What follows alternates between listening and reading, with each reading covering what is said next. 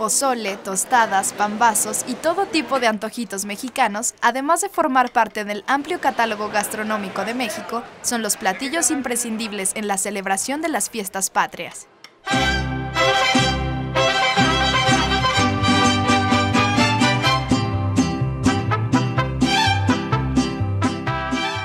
15 y 16 de septiembre, en el que nos sale lo patriótico, lo mexicano.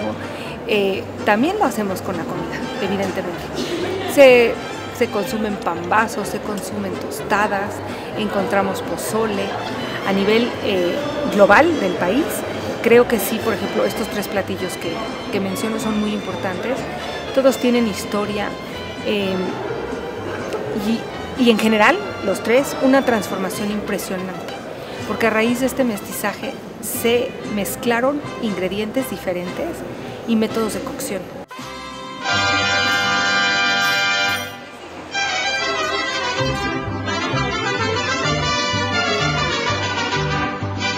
Tenemos pozole blanco, pozole rojo, pozole verde. Se asocian muchas veces a, estados en particular. Aquí en el Distrito Federal se acostumbra, bueno, al igual que en Jalisco, comer pozole blanco, pozole rojo, depende de exactamente de qué delegación vengas, de qué exacto punto de la, de la ciudad.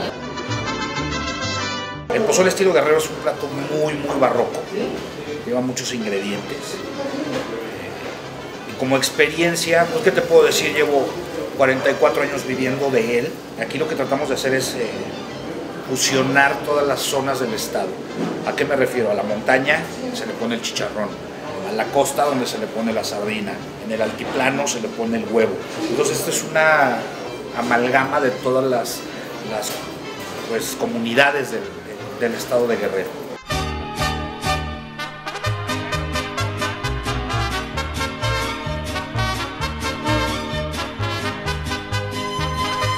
Un pambazo no está hecho de maíz, está hecho de trigo. Entonces, todos los productos que acompañan a un pambazo son adquiridos. No existía un pambazo en la época prehispánica. No había trigo, no había, eh, perdón, no había trigo, no había chorizo, no había lechuga, no había queso crema. Lo único que teníamos era la salsa, la parte del muli o la salsa fresca verde y, eh, y por supuesto los chiles, ¿no? que son un adobo que cubre este pan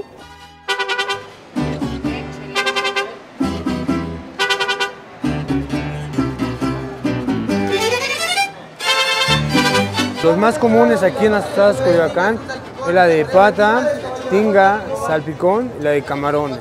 Es lo que más nos piden aquí los comensales.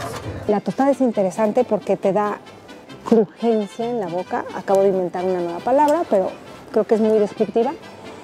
Te da este, este sentimiento crujiente y a veces combina temperaturas, porque el frijol se pone medio caliente o tibio con el relleno que va frío.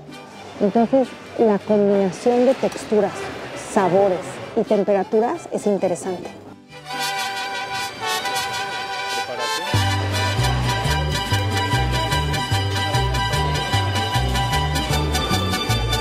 Eso es lo que hace padre la fiesta, que haya esa elección. Entonces no vas a decir, ay, no, no voy a ir porque solo hay pambazos, no voy a ir porque solo va a haber pozole y a mí el pozole no me gusta. Hay esa elección de antojitos.